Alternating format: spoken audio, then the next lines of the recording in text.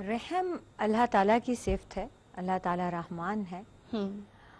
और इसके बारे में हदीस कुदसी में आता है कि रहम ने अल्लाह ताला से ये दुआ की हम्म। कि अल्लाह जो मुझे मिलाए उसे तू मिलाता रखना और जो मुझे काटे उसे तू काट देना।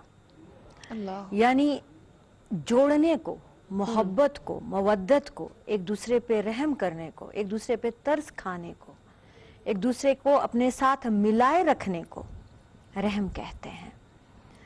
हत्ता कि ये जो बच्चा माँ के पेट में होता है उसका नाम भी रहम रखा है।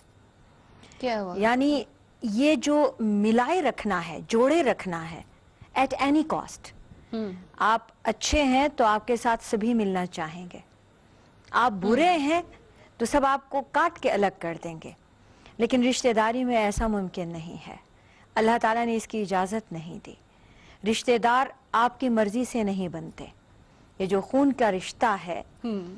ये आपकी मर्ज़ी का नहीं है। ना तो आप अपनी मर्ज़ी के वालदेन चुन सकते हैं ना अपनी मर्ज़ी की औलाद पैदा कर सकते हैं ना चचा ताया ना खाला ना मामू ना फूफो। ये आपकी मर्ज़ी के नहीं होते। ठीक है। ये अल्लाह की तरफ़ से होते हैं ये खून के रिश्ते हैं। सही। इसलिए हदीस शरीफ में आता है कि जो काते है जो इनको काटता है इनसे नहीं मिलना चाहता कता ताल्लुक करता है। दो लोगों को अल्लाह ताला जन्नत की खुशबू भी नहीं सुंघाएँगे जबकि वो खुशबू हज़ारों मील की मसाफत पे हज़ारों साल के सफ़र की मसाफत पर हम्म। आ रही होगी। और वो दो लोग कौन हैं? एक अल्लाह के साथ शिरक करने वाला और दूसरे रिश्तेदारों के साथ कता ताल्लुक करने वाला। सही। एक मरतबा एक सहाबी ने सवाल किया या रसूल अल्लाह मैं अपने रिश्तेदारों का क्या करूँ? मैं उनसे जुड़ना चाहता हूँ मैं उन्हें जोड़ता हूँ वो मुझे तोड़ते हैं। मैं मिलना चाहता हूँ वो मुझसे नहीं मिलना चाहते वो कता ताल्लुक कर लेते हैं। मैं फिर उनके पास जाता हूँ वो फिर मुझे दूर करते हैं।